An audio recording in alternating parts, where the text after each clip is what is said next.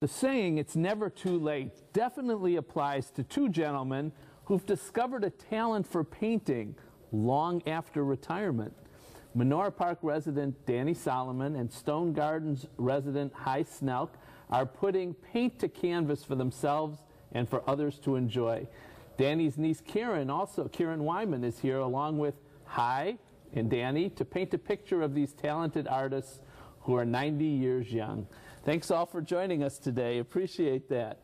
All right, so Karen, let's start with you. Could you tell us a little bit about uh, Danny's story? And I understand he didn't really start painting until he was 70?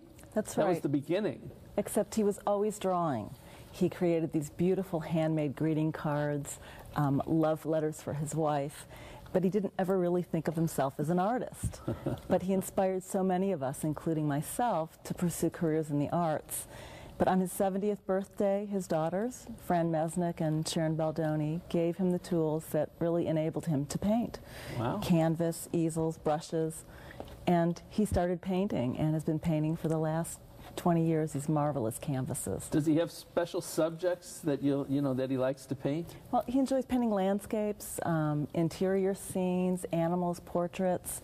Um, he's completely self-taught and has this wonderful sense of composition, color, and design. These paintings we're putting up on the TV screen, these were done by him. Yes, yes. Beautiful. Marvelous, aren't they? Not bad. That's one of my paintings. Yeah, that's great. And as you can see, he looked at uh, major painters such as Degas and Renoir, Mm-hmm. and like other many, you know, other artists, he usually painted from photographs.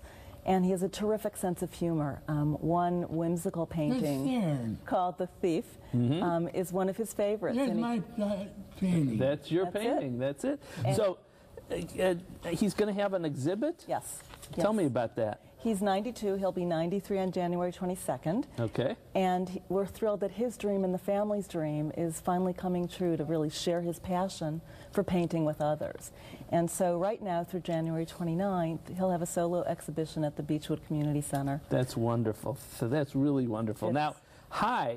Yes. Some of your work is currently displayed at the O Gallery at La Place in Beachwood Yes. and at Waterloo 7 in Cleveland, Yes. Right? Yeah. And you might be able to give Daniel some advice on how to handle his newfound fame. Painting came late, late in life to you, and you started in sculpture, right? Yes. Uh, tell us about the sculpture. Well, uh, I always like using my hands, and I, and when I uh, I I uh, I, was, I used to go to Washington Square and sell my work, and I got involved in metal because a friend of mine had an engraving shop.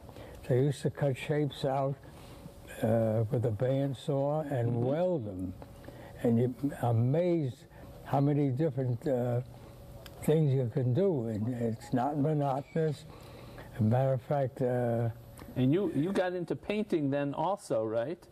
Well, I started, I was painting when I was younger, but then I gave it up for the sculpture. I see. But I went back to painting again now that I can see, and I uh, painting, and I'm doing abstracts. And at Stone Gardens, they, they actually have a studio for you there? They have a wonderful studio. That's yeah. great.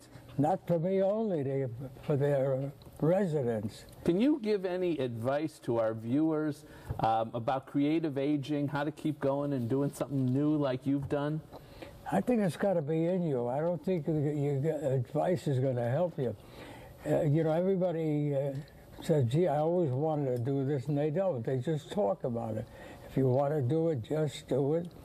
And I don't understand even you- worry about how good or bad it is, you know. And I understand you feel that humor is an important part of going on. Oh, absolutely. Good. Kidding around makes life easier and friendlier. Well, I just want to thank you all for coming in, sharing this. This is so inspirational for our viewers.